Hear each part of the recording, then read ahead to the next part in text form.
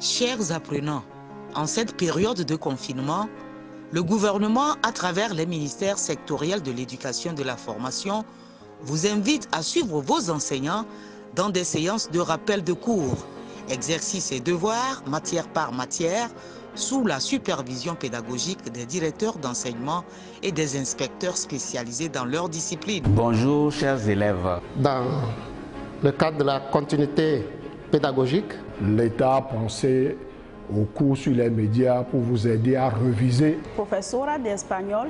Inspecteur chargé de physique-chimie. Today, we are going to start our first session of revision. Vous aurez à suivre attentivement. À partir de leur poste téléviseur, il y en a qui nous suivent à partir de leur radio. Si vous êtes prêts, nous allons commencer. La valeur réelle de la philosophie. Il y a certaines erreurs que vous commettez dans ce type d'exercice. Ces rappels de cours sont mis à votre disposition à travers les radios, les télévisions et les applications web. En cette période de Covid-19, suivez les cours, faites vos exercices et continuez d'apprendre vos leçons en attendant le retour à l'école.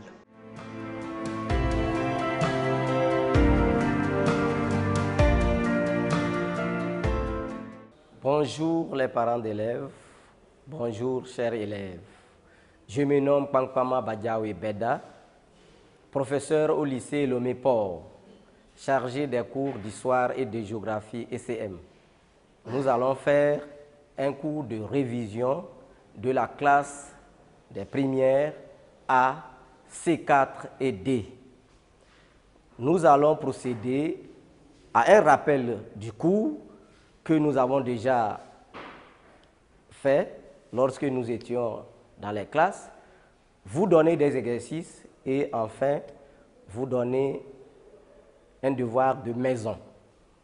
Alors, nous allons voir notre cours concernant les fondements de l'impérialisme, les objectifs spécifiques.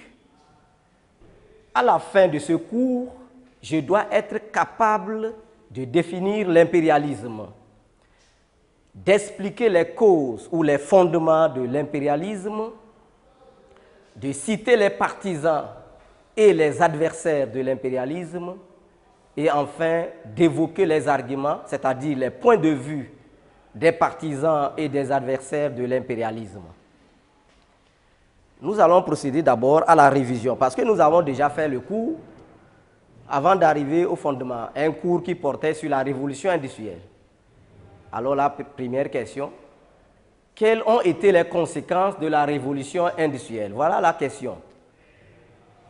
Réfléchissez, répondez-moi à cette question. Quelles ont été les conséquences de la révolution industrielle? Sur le plan économique, sur le plan social et sur le plan politique. Voilà la question. Quelques secondes, vous allez me donner la réponse. J'espère que vous allez trouver parce que vous avez déjà le cours. La réponse, sur le plan économique, il y a eu le développement de l'agriculture, de l'industrie, entraînant l'augmentation de la production et du commerce. Voilà la conséquence sur le plan économique. Sur le plan social, on a assisté à la naissance de deux classes sociales opposées, la bourgeoisie et le prolétariat qui s'affrontent. Et sur le plan politique, il y a la naissance de l'impérialisme. Voilà les réponses à cette question. Vous avez suivi et j'espère que vous avez trouvé également les réponses. Vous les avez trouvées. Nous allons procéder à l'analyse d'un texte.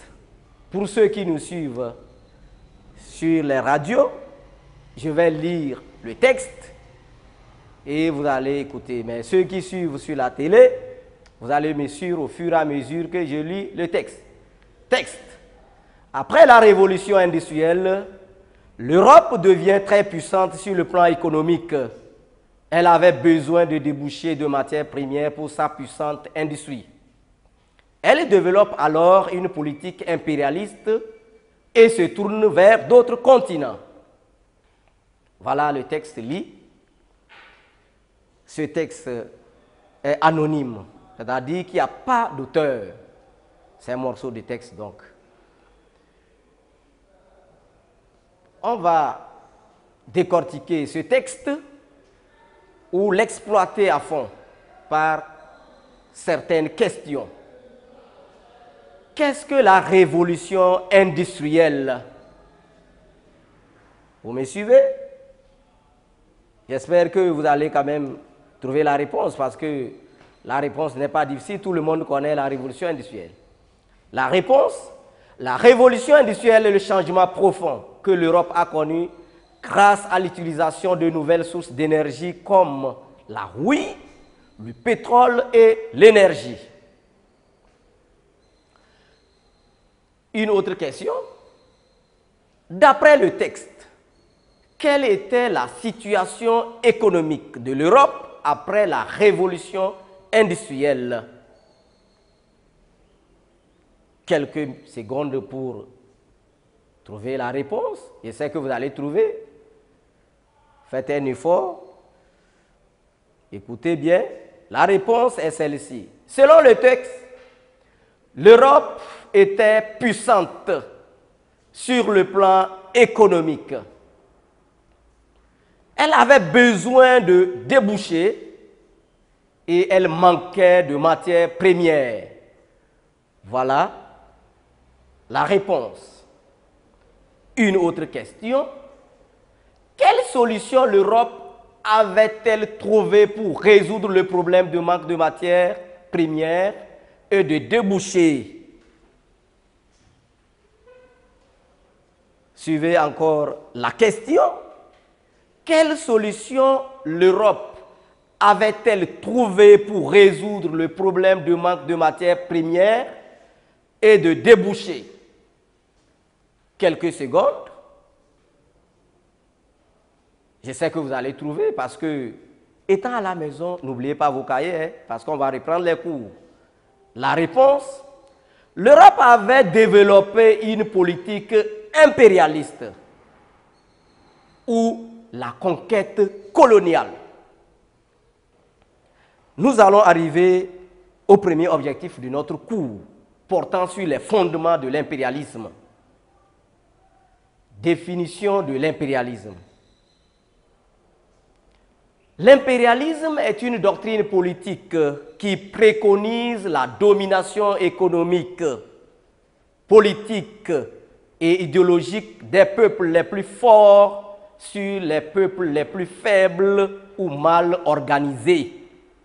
C'est ça la définition de l'impérialisme. Je dis bien que l'impérialisme est une doctrine politique qui préconise la domination économique, politique et idéologique des peuples les plus forts sur les peuples les plus faibles ou mal organisés. Et vous savez, l'Europe qui se sentait déjà plus forte et plus puissante est arrivée en Afrique pour trouver des colonies. C'est-à-dire, il trouvait que, ou l'Europe trouvait que l'Afrique était faible. Je dis bien la domination des, plus forts sur les plus faibles ou mal organisés. Donc, ils trouvaient que nous étions mal organisés et nous étions faibles. Il fallait venir donc nous coloniser. Nous allons passer à une deuxième activité. Cette deuxième activité est une carte, carte des colonies européennes. Ceux qui nous suivent sur les radios, vous n'allez pas voir la carte, mais à la télé, vous le verrez. Vous allez voir cette carte. Alors, je vais quand même vous citer les différentes colonies. L'Allemagne avait des colonies en Afrique. Donc, les colonies allemandes en Afrique sont, en commençant par notre pays, le Togo, qui était une colonie allemande, le Cameroun, le sud-est africain, c'est-à-dire la Namibie, et le Tanganyika. Voilà les colonies allemandes en Afrique. Il y avait également d'autres colonies, les colonies belges. Là, on les trouve au niveau du Congo RDC. Et colonie espagnole, c'est le Sahara occidental, au niveau de l'Afrique, un peu au sud-ouest du Maroc. Vous avez le Sahara occidental. Il y avait également les colonies françaises. Ces colonies françaises étaient constituées du Maroc, de l'Algérie, du Tchad, de la Côte d'Ivoire et tout le Madagascar, pour ne citer que celle-là. Nous avions également des colonies britanniques de la Grande-Bretagne qui étaient constituées du Ghana, on, appelait ça Gold Coast à l'époque, du Nigeria, de l'Afrique du Sud, quand nous allons plus en Afrique du Sud. Vous, vous avez également l'Égypte, qui était des colonies anglaises. Il y a également les colonies italiennes qui sont constituées de la Libye, de l'Érythrée et de la Somalie, qui sont des colonies italiennes. Et enfin, il y avait les colonies portugaises, constituées de l'Angola et du Mozambique. Voilà les colonies que les Européens s'étaient taillées en Afrique. Pour ceux de la télé, vous avez regardé la carte, donnez un titre à cette carte. Vous qui m'avez suivi à la télé, j'ai parlé des colonies européennes. Vous pouvez également nous donner un titre. Donnez un titre à cette carte. Le titre, c'est la carte des empires coloniaux de l'Afrique après Berlin, après la conférence de Berlin. Ou également, pour certains, c'est la carte des colonies européennes en Afrique. Voilà les titres qu'on pouvait donner à cette carte. Autre question. Comment les Européens justifient-ils l'occupation des colonies en Afrique? Comment les Européens, suivez, je reprends la question, comment les Européens justifient-ils l'occupation des colonies en Afrique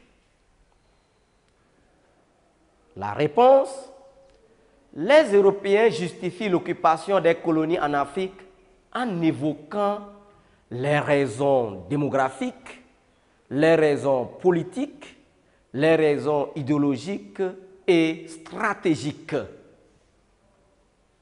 J'ai dit que les Européens justifient l'occupation des colonies en Afrique en évoquant les raisons économiques, les raisons démographiques, les raisons politiques, les raisons idéologiques et les raisons stratégiques.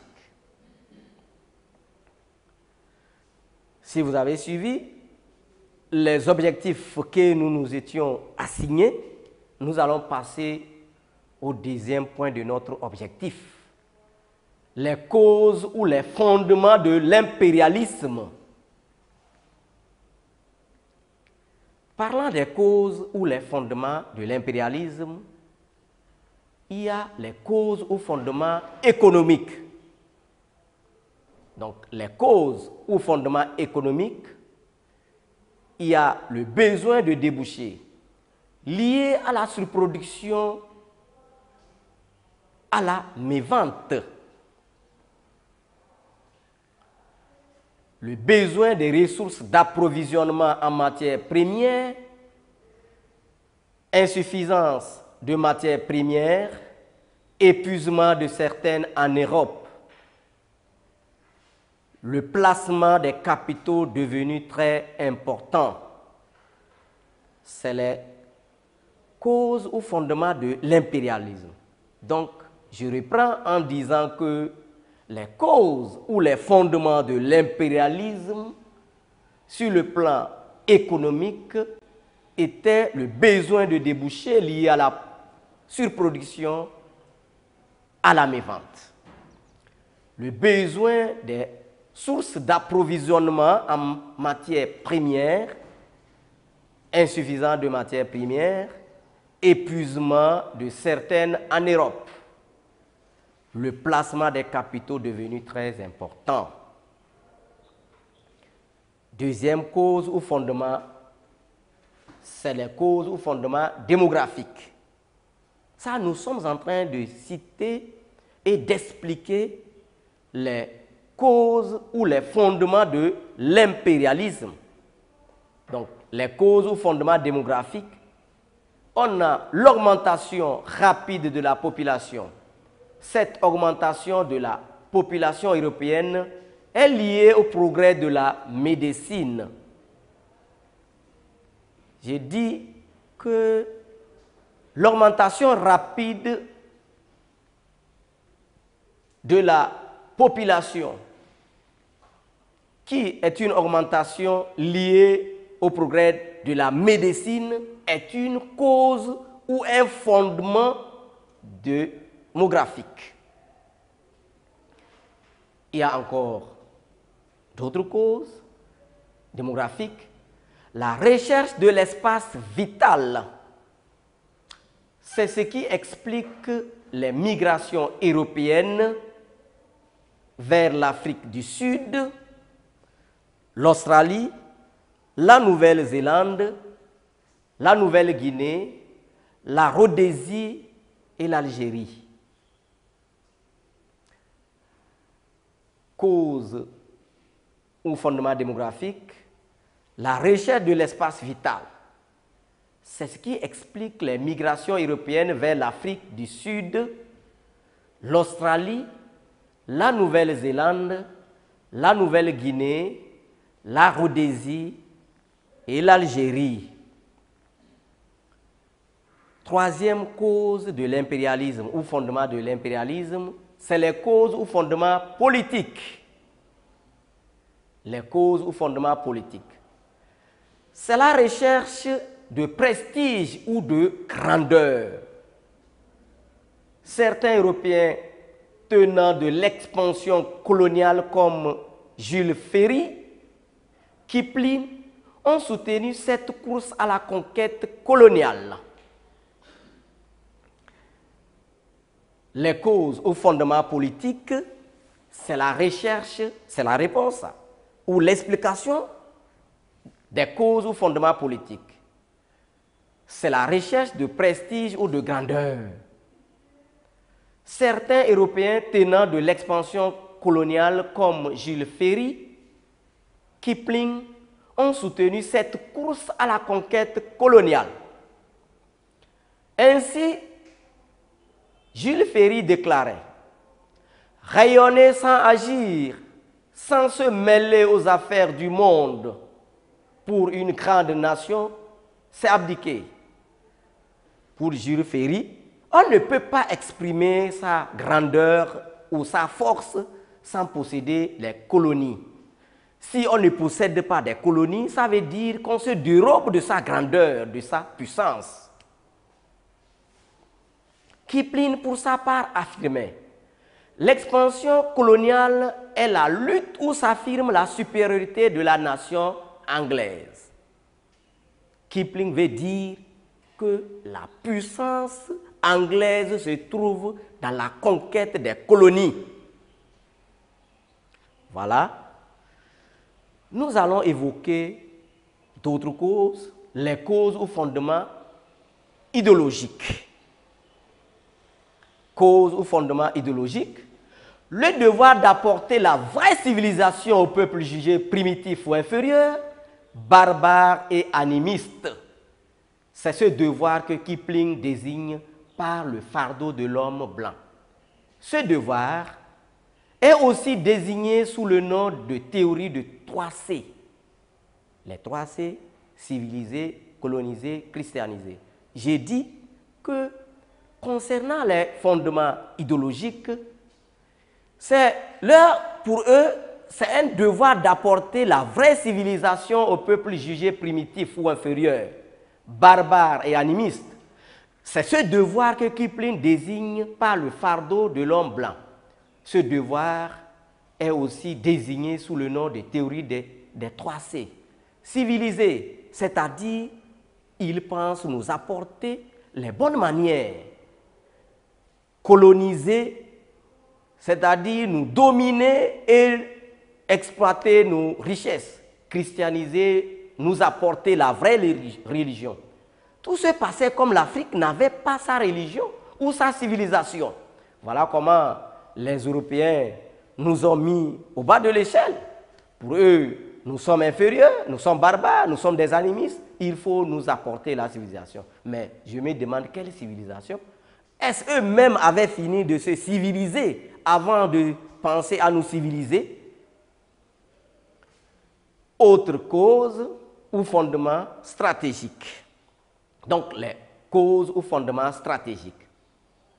Là, il y a la recherche de base de relais, de base de ravitaillement, de base de contrôle des routes commerciales.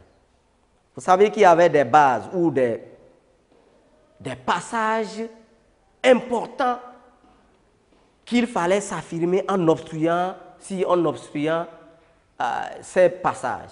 Ici, nous allons prendre l'exemple des détroits, les détroits, les canaux, les îles.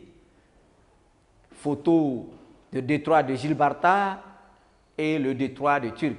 Voyez le détroit de Gilbarta, ceux qui nous suivent au niveau de la télé, mais ceux qui nous suivent à la radio, écoutez que le détroit de Gibraltar, c'est un bras de mer qui séparait l'Europe de l'Afrique. Et ceux qui sont à la télé, vous voyez, c'est un bras de mer qui sépare la mer Méditerranée à l'océan Atlantique. Et le détroit de Turquie également, c'est au niveau de la Turquie. C'était des canaux où leur, ils devaient, ces canaux étaient importants parce que c'est par ça qu'ils devaient et, se rendre, euh, devenir supérieurs sur le commerce international. Activité 3. Question. L'opinion européenne était-elle unanime sur la politique impérialiste? J'ai dit bien si l'opinion européenne était-elle unanime sur la politique impérialiste Quelques secondes pour répondre à cette question parce que vous avez suivi. La réponse, non. Elle n'était pas unanime. Il y avait d'un côté les partisans et de l'autre les adversaires de l'impérialisme. Ça veut dire que les Européens même ne s'entendaient pas sur la conquête coloniale. Pour certains, c'était bénéfique. Pour d'autres, ce n'était pas bien de faire la conquête coloniale. Voilà, il y avait eu donc deux tendances, les partisans et les adversaires. Ainsi, l'Europe n'était pas unanime. Autre question. À partir de la liste des noms suivants, range dans un tableau les partisans et les adversaires de l'impérialisme. Je reprends. À partir de la liste des noms suivants, range dans un tableau les partisans et les adversaires de l'impérialisme. Ne vous gênez pas, je vais vous aider à ranger ça, même ceux qui nous suivent sur la radio. Voilà, c'est impérialiste, je les cite, Jules Ferry,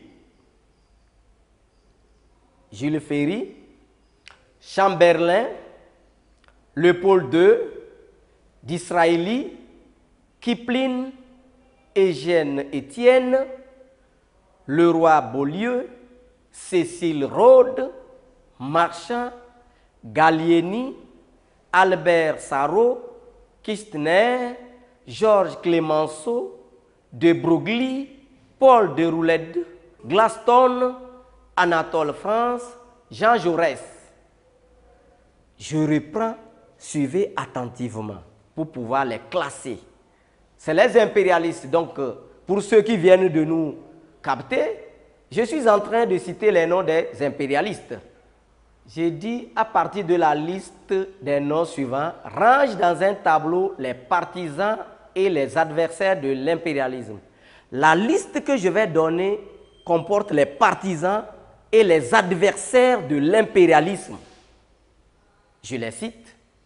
Jules Ferry, Chamberlain, le pôle 2 d'Israël, Kipling, Eugène Étienne, Leroy Beaulieu, Cécile Rhodes, Marchand, Gallieni, Albert Sarrault, Kittner, Georges Clemenceau, De Broglie, Paul Déroulède, Gladstone, Anatole France, Jean Jaurès.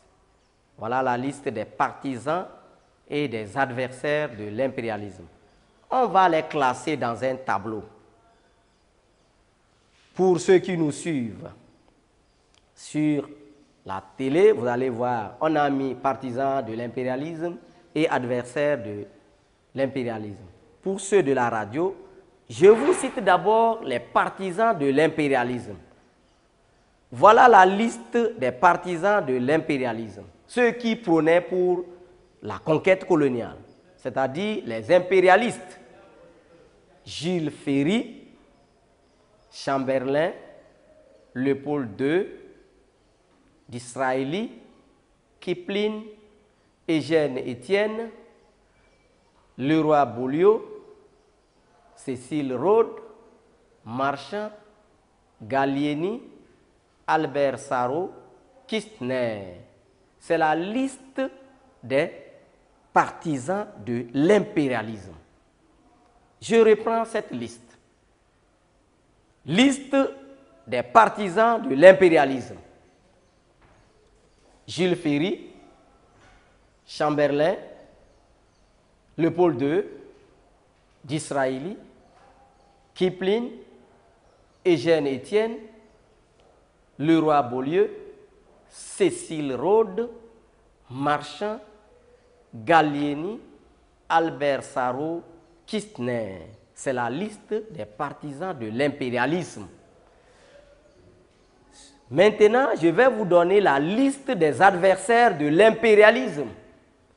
Ces adversaires de l'impérialisme sont Georges Clemenceau, de Broglie, Paul de Roulède, Gladstone, Anatole France, Jean Jaurès.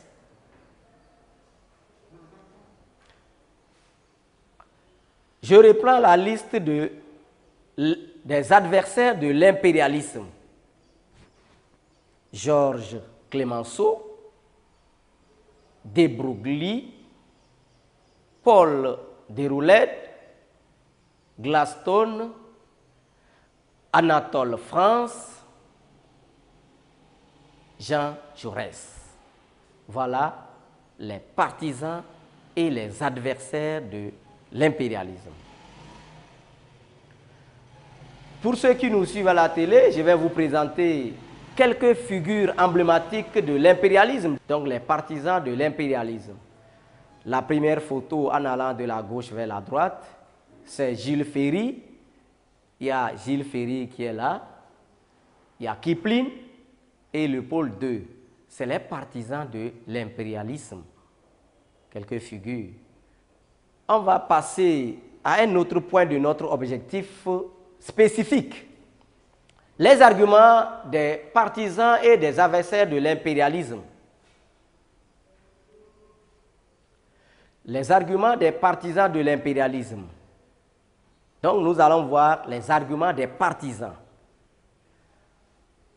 Ils avaient les mêmes fondements ou les mêmes raisons ou arguments. Il y a les arguments avancés par les, partisans de l'impérialisme qui sont à l'image donc des fondements de l'impérialisme. Arguments économiques. Assurer les débouchés, les sources d'approvisionnement en matières premières. C'est pourquoi Jules Ferry déclarait la politique coloniale est fille de la politique industrielle. Ici, Jules Ferry veut dire que la conquête coloniale est née à la suite de la révolution industrielle. Argument démographique, installer les bases, enfin le surplus de la population. Argument démographique, installer le surplus de la population.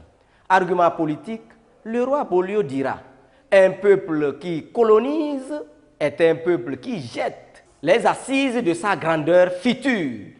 Je reprends. Le roi Bolio dira, un peuple qui colonise est un peuple qui jette les assises de sa grandeur future. Un peuple qui colonise est un peuple qui jette les assises de sa grandeur future. Borlio veut dire qu'il faut avoir des colonies pour profiter au temps opportun. Voilà, je vais vous faire voir certains adversaires de l'impérialisme, les anti-impérialistes.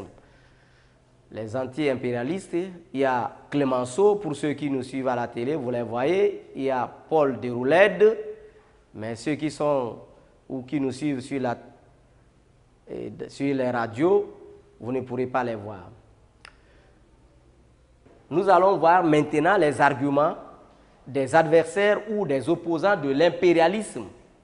Argument démographique, le caractère anti-humanitaire et la brutalité des méthodes coloniales, perte en vie humaine. Quand euh, ces Européens arrivaient, ils mouraient à la suite des maladies tropicales parce qu'ils ne sont pas habitués à la chaleur et à nos maladies. Voilà pourquoi les anti-impérialistes trouvaient que c'était eh, une œuvre difficile. Argument économique.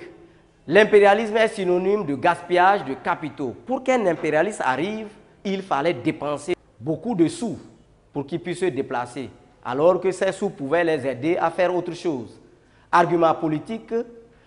L'impérialisme distrait les pays des problèmes européens, de lui faire oublier la revanche contre l'Allemagne qui occupe l'Alsace-Lorraine.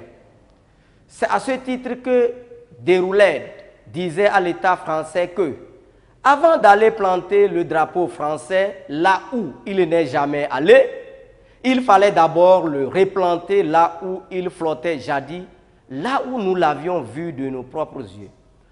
Ils ont des problèmes qui les concernent en Europe, même la colonie ou les, certains territoires que d'autres ont récupérés. Au lieu de récupérer ces territoires, ils cherchaient à aller prendre d'autres colonies, que ce n'est pas normal.